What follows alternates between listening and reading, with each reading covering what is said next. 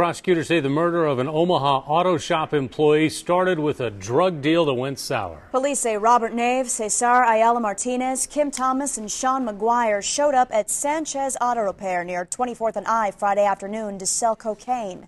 At some point, they say Nave shot and killed 36 year old Cesar Sanchez Gonzalez. All four suspects are accused of then getting in a car and crashing four blocks away. Police searched the vehicle and found a gun and cocaine inside. Nave, Thomas, and McGuire are now being held without bond. A judge set, set bail at $2 million for Ayala Martinez.